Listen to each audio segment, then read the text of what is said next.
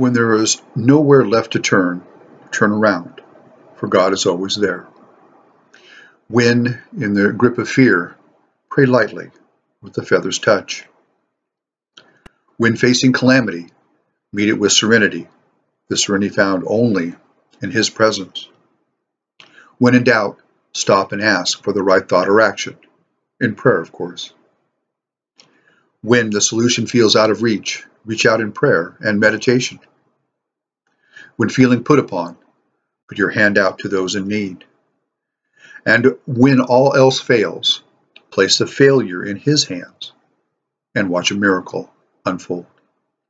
My name is Vincent Lee Jones. You can find my writings at Blogspot titled The Page Living in Spirit and my videos on both YouTube and Facebook at Vincent Lee Jones. Have a blessed day.